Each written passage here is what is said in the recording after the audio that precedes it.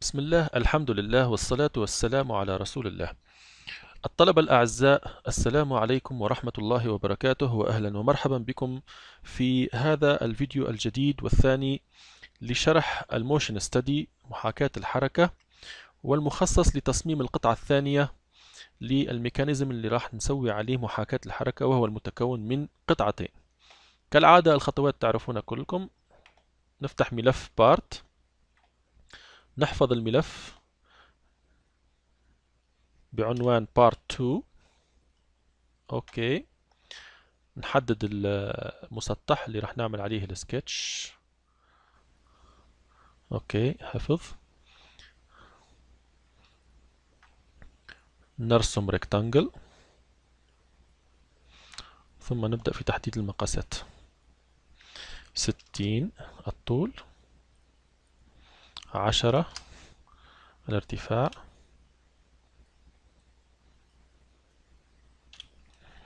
أوكي. ثم بعد ذلك. نرسم خط.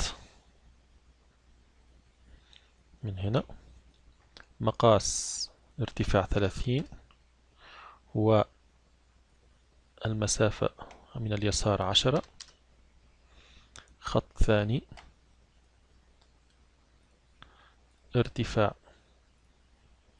ثلاثين. والمسافة أيضا من اليمين عشرة. ثم نرسم خط من اليسار بمسافة أو بطول عشرين مليمتر. خط من اليمين. أيضا. طوله عشرين مليمتر.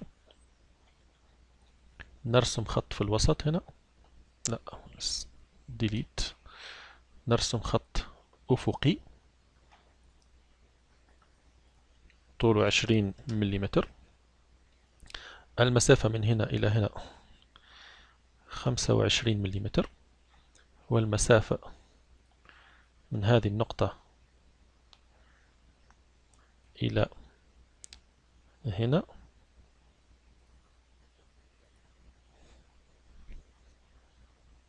تكون آه، نص الستين ثلاثين ثلاثين ناخذ منها عشرة عشرين. okay.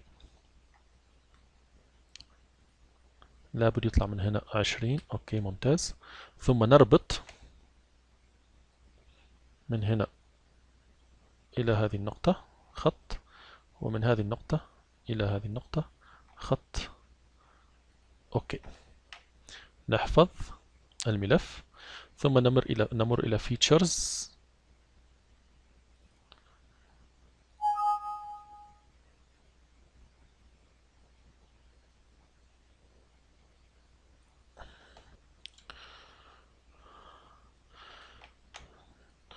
نعمل تريم. لازم نقطع هذا الخط. okay. حفظ. features. extruded boss نعطيها 30 ملم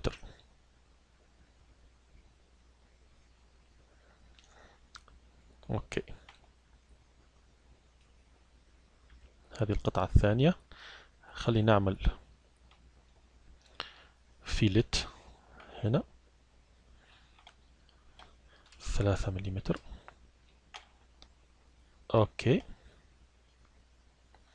ونعمل fillet هنا وهنا أيضا.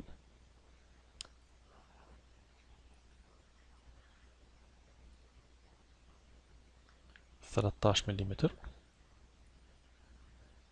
ممتاز.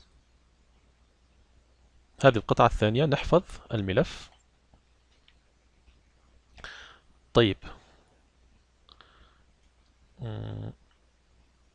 خلي نضيف عليها بعض الثقوب ما في مشكلة. Edit sketch. أوكي. خلي نرسم.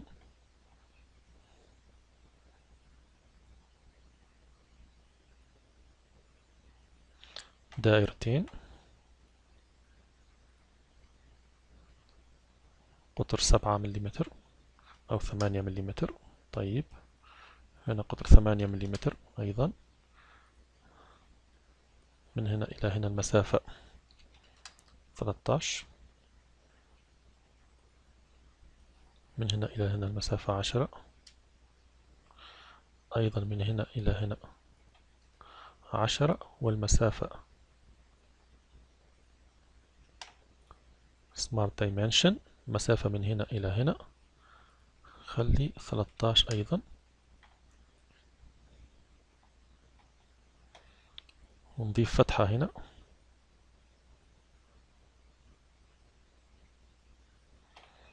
مقاسات. أوكي عشرين. هنا. تسعة مليمتر أو ثمانية مليمتر. okay. والارتفاع من هنا إلى هنا خمسة مليمتر. okay.